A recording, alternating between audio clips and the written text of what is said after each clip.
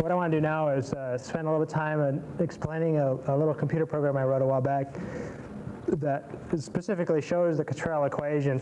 And I'd, I'd recommend that you maybe play a little bit with the Cottrell equation in this program, which is under the download section of the, uh, the web page. So if you go to the web page, you can find it there. It's under the download. It's called Cottrell. And I'll bring it up on the computer screen. You see it here. And uh, basically what it does is just plots those equations that we derived in class. And uh, you can change some parameters. You can see the number of electrons, the area, the diffusion coefficient, the concentration. These tend not to be so critical. Two critical parameters are these two down here. One's the t range, which is the time range, and it's set now for 10 seconds. And the other is the x range, which is uh, is the distance out in solution that we're going to be looking at. Uh, because we're looking at an area of the, or a, a region of the electrode solution interface, we want to specify how far out. So we can think, well, let's look at only the first 10 micrometers, or let's look at the first 100 micrometers of that interface. And so we're looking at here the, um, the first 100 microns, or 0.01 centimeters. And let's first of all show you what happens under linear diffusion conditions for the area. And so let's show that here. And what you're seeing is a plot on the top here of current versus time, and it's going to go out to 10 seconds. And obviously, it's not quite real time, there's the, the current that you would observe for these particular conditions, and this is the time, so there's five seconds. And what you can see is that t to the minus 1 half behavior as we predict. Down here in the bottom, you see the concentration of species O as a fraction of the bulk concentration. Whoops. And um, this should say X, and the thing erased it. But uh, what you see is the gradient, and you see at t equals 0, and then I show kind of a, in animated form the previous gradients. And you can see that at shorter times, that gradient is much steeper than at longer times. In fact, it's kind of linear at very long times, as you'd expect. Now, that's only because we're only looking at the at that first 100 microns of solution. So if we drop back and look at the first uh, millimeter of solution, uh, we get a little bit different view, but you can still see that that gradient will be varied. Of course, the time doesn't matter because we're only looking at that concentration thing. All right, and so let's stop that here. Let's change the time to uh, a little bit longer time scale. Let's drop, let's make it up to, uh, to uh, a million seconds. see what happens. Now here the gradient drops to very low values almost immediately because we're, because we're look, looking at times that are fractions of a million seconds. So, but notice the current is going to drop to pretty small values, although on the time scale in which we're plotting it, it really doesn't look any different than it looked before. At all points, we're going to get this t to the minus one half behavior. But if you do look at the diffusion current, you'll see that it's 1.8 micro uh, nanoamps, 180 nanoamps about there. Let's go back to uh, 10 seconds and 100 micrometers. And you can see the current at the end is going to be closer to uh, um, 100 microamps or so. So that longer time scale, we do get less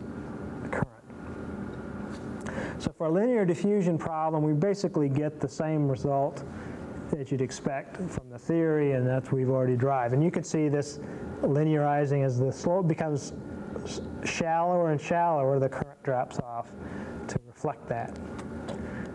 Now, as I mentioned, if our electrode if our electrode response is no longer considered to be planar, that can be considered to be either a distortion or a uh, disagreement between actual and theoretical, or we can actually derive the, the current time behavior for spherical electrodes. And we can pop that in, and if we do that now, we can add a spherical diffusion event. And in this case, what we're going to do is we're going to assign a radius to our electrode. And so in this case, we're going to make our radius of our electrode uh, what it would be to give us the same area as before, about 0.29, 0.28 centimeters. So let's compare. We had at the end a diffusion current of about 54 microamps. Um, when we put in a spherical electrode,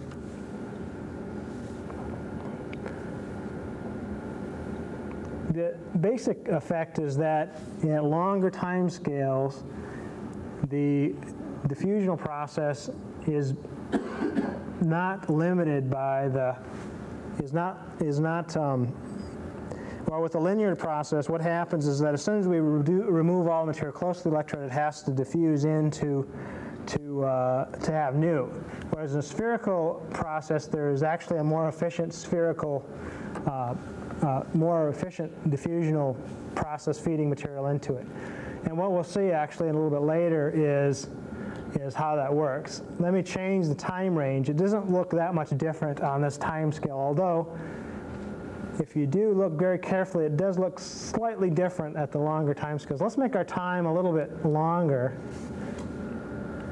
Let's go back to that million second time scale range and the one millimeter um, thing. Now let's do that plot.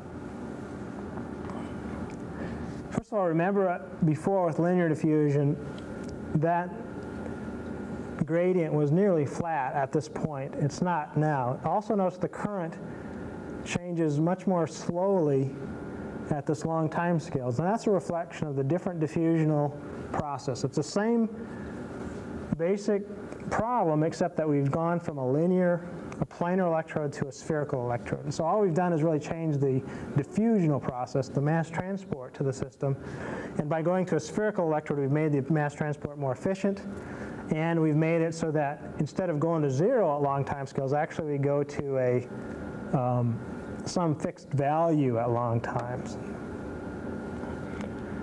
And at a million seconds is not a very uh, not a kind of experiment we'd be interested in doing typically, but what we can do is we can observe the spherical electrode response if we go to, say, a, um, a 30 micron radius electrode, go back to 10 second experiments, and look at time scales again that are, say, uh, 100 microns next to the surface. And now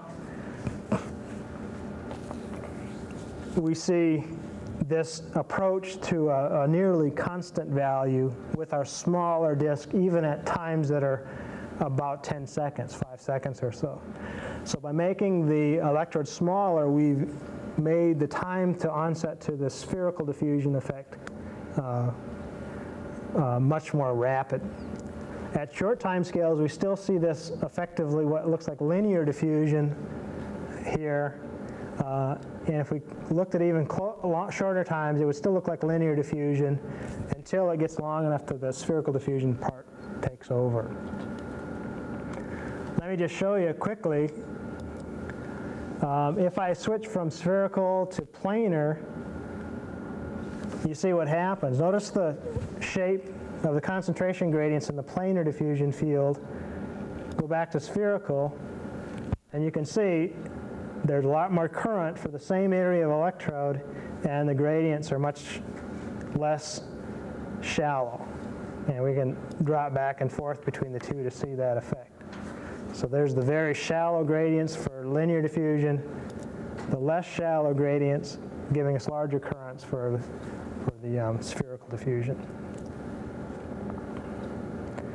And so, and you can, you can see where with the linear diffusion, there is really no, uh, everything scales with time directly, so it doesn't matter what the area is, it's just the scaling factor. Whereas with the spherical diffusion, the area actually has a significant effect on the shape of the current time behavior. So that does suggest that in addition to area in the spherical diffusion situation, you're going to have another variable that will be a radius in the uh, expression. And so I'll uh, I'll, again, I would suggest that you maybe play with that a little bit and you can see uh, where things are going. And you could probably maybe even plot these um, theory versus um, time on a spreadsheet and plot them and see the, the proper shape of the current time relationship. How are we doing here? We got a little bit more time. All right, let's uh, let's look at another little um, part of it. Part of the uh, experiment. We've said uh, we've already we've looked at the case where we've looked at the what we call the Cottrell expression. Let's look at the case when we can allow arbitrary potential steps.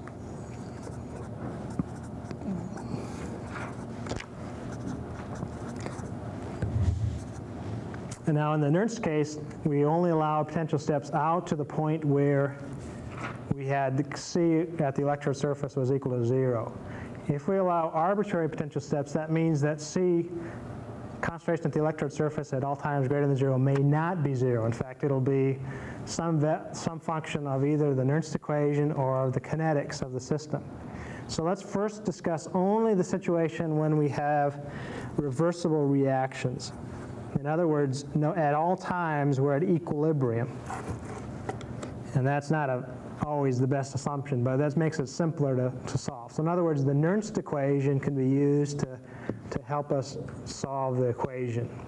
Whereas if we didn't allow reversible reactions, the Nernst equation could not be used because the Nernst equation is only for equilibrium systems. All right, so let's go back to our standard equation and you see why we derive that, because we don't have to rederive it. We can always go back to the Laplace space, and then we can put in just a new boundary condition and get um, a new equation for a different condition.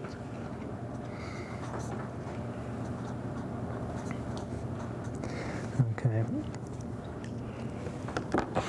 Okay, what are the other conditions? Well, we're going to maintain boundary condition that for time is equal to zero.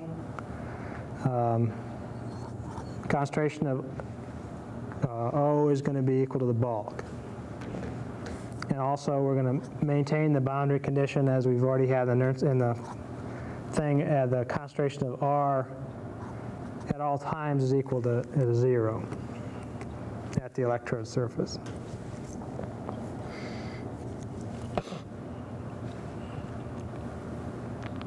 No, wait a minute.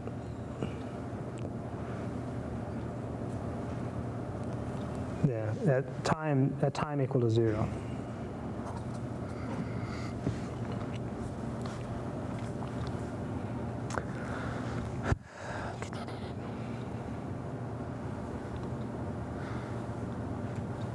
All right, so since we have to consider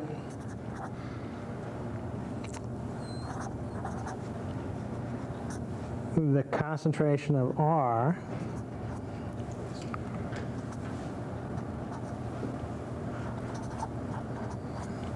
we now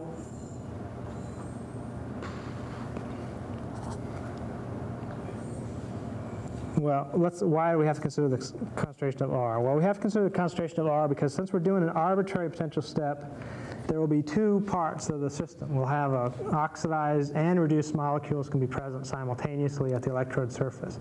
So we do need, because we're going to use the Nernst equation, we need to know both concentration of O and the concentration of R. So we can substitute in the uh, what R will be. Now it'll be the same equation as here for O, except that there will be no initial concentration of R there's no bulk concentration of R present. So that term drops out, but there will be a B term which will be have to be solved. And so we're using, we've got C sub O bar and we've also got C sub R bar as something to, to consider.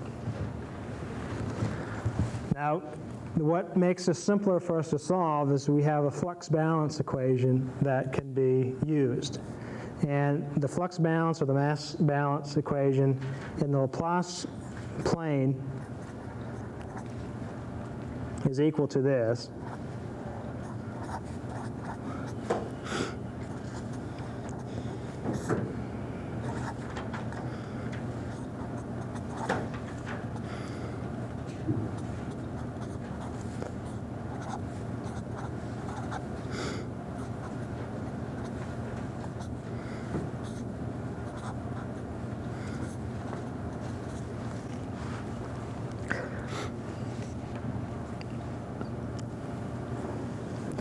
Can take the derivative of these and substitute, we take the derivative of this and we can substitute these expressions in. And what we'll do is get uh, the following equations. If we take the derivative of these and substitute into these equations here, uh, we get minus a sub s, or a is a function of s, d to the 0 1 half, s to the 1 half. That's something we've seen before. And um, get then on the other half, that's due to the species r,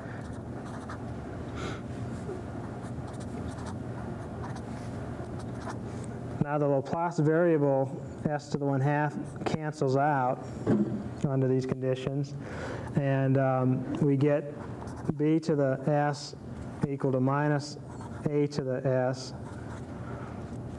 And we use this symbol, I forget what they call that in Greek, but, and that is just a shorthand way of um, specifying this ratio d O over dr to the 1 half. Now, often we'll just make that equal to 1, assuming that the diffusion coefficient of O and R are the same, but sometimes we can't make that assumption. So that's, that's nothing that we haven't done before, and we don't have, we haven't really applied any new boundary conditions to the system at this point. What we can do now, though, is apply our new boundary condition that suggests that we will have an arbitrary potential step, and then it also will be at equilibrium. So the reversible boundary condition requires equilibrium to be maintained at the electrode surface, and we know that under those conditions, that means that we can use the Nernst equation. So the Nernst equation can be used as a boundary condition uh, in our system. So E is equal to E0 plus RT over NF, natural log. And the Nernst equation applies in the bulk, but it also applies at the electrode surface as long as the we've got a certain potential at the electrode surface, the ratio of the concentrations at the electrode surface will be given by the Nernst equation at equilibrium. Uh, we can rearrange this a little bit to make it easier to um, to uh, deal with. For example, we can write the ratio of CO over CR. Uh, we'll use the Greek letter theta to indicate that ratio. And that then becomes equal to E to the NF RT E minus E0 prime. And the Laplace transform of that is the only part that really changes in the Laplace space. And the concentration of O is OS, concentration of R, OS is equal to theta. Because these terms don't get changed in the Laplace space.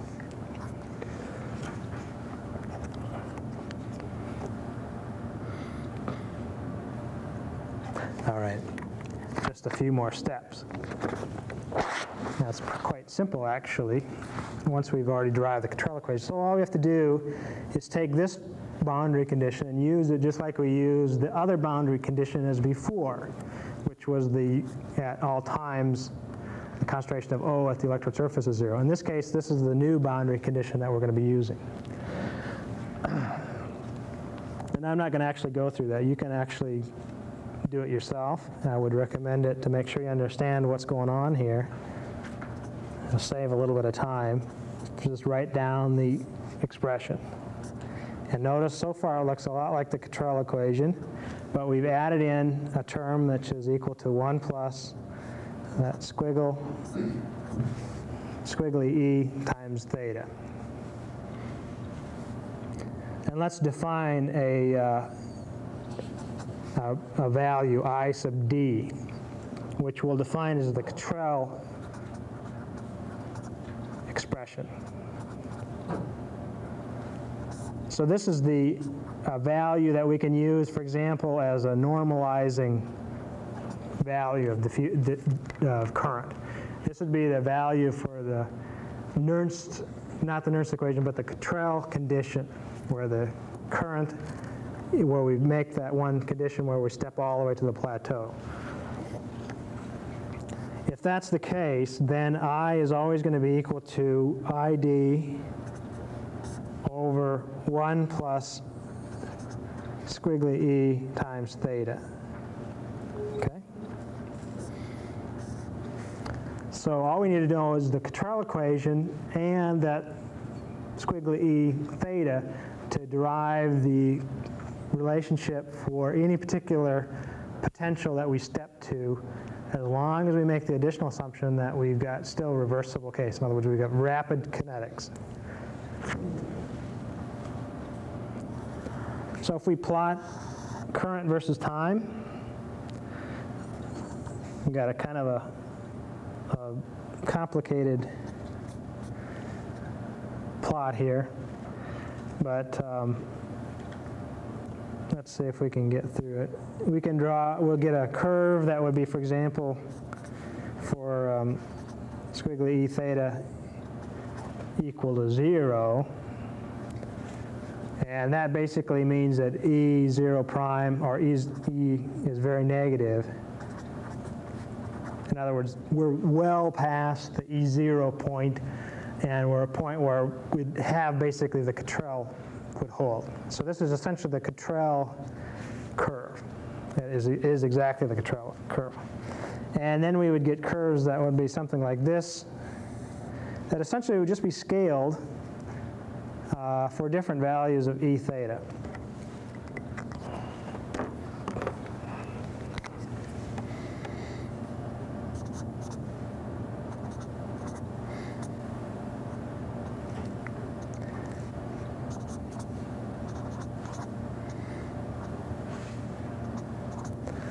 So on.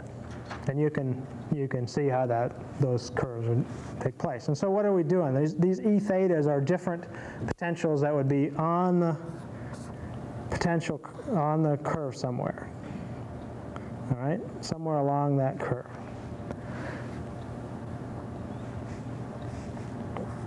So if we draw that, we guess we have it on the in the notes, and you can see E theta approximately zero here on the plateau. Of course, it will never be exactly zero. To be zero, it would have to be an infinite potential, but it would basically be zero at that point. Uh, but then we'd have values of 2 and 1 somewhere along the curves. So let's just say, for example, that that would be E theta is equal to 1 here, E theta equal to 2 under those conditions.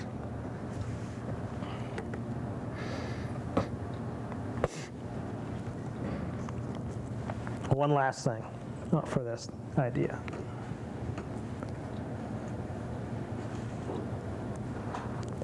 We can actually think about taking and monitoring the current as a function of some time. Rather than measuring the whole um, curve, we can actually think, well, let's measure the current at, let's say, a time that's we'll call tau or tau prime or tau double prime, whatever we want to talk about. What we got here is then is a set of current time points And if we plot a current potential, actually it'd be more, uh, this would be a, a better, a better um, value for that. What we get is a, a set of what they call a sampled current voltammogram.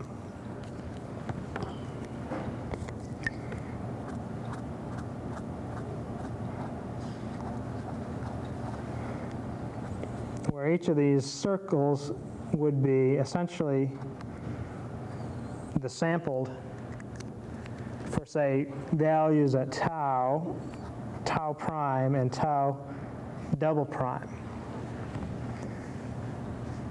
So essentially, we're going down and we'd sample for a bunch of different e thetas along this tau line.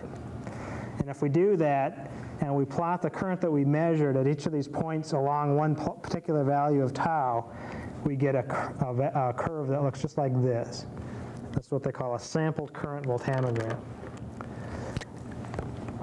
And what you see then is for a reversible case, the E1 half value is equal to E0 prime.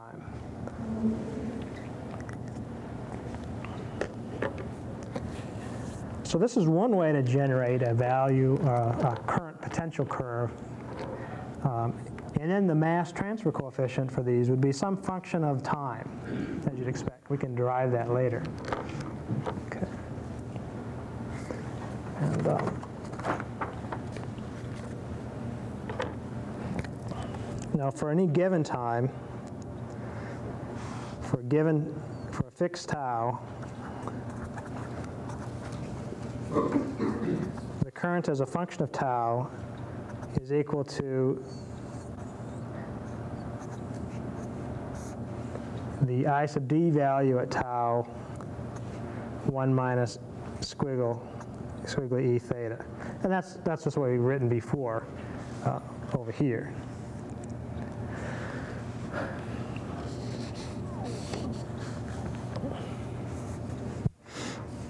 And um, so given what we know already about the Nernst equation, the way we've defined it, we know that, that this is the this is true. And then also theta is equal to id tau minus i tau over squiggly e i tau.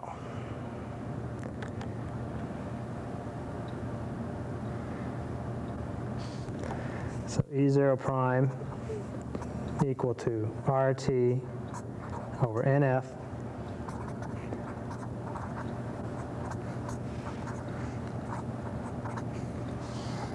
Okay, remember that. This is the uh, squiggly E term here, d sub r over d sub o, plus RT NF natural log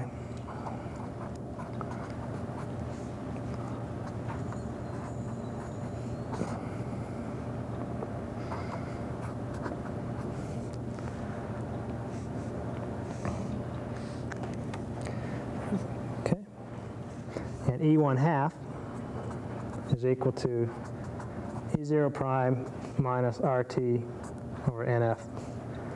Um, natural log of this term here, or again using the squiggly E term like so. So these equations is the same exact equations as we derived in chapter one, where we actually used uh, a semi-empirical parameter. We use that mass transfer coefficient. Here we've actually derived using real mathematics the equation that we predict and that we derived using the semi-empirical methods in chapter one. So we have a good correspondence between um, a, a sort of a simple hands, hand-waving type derivation and, and a more rigorous derivation here. And so that's, that's what we're looking for. So we need to see a nice correspondence. That current potential curve then is dependent on the time that we sample, but that's only, that's the only thing it's dependent on. Okay. Well, I'll stop here. We've probably gone far enough.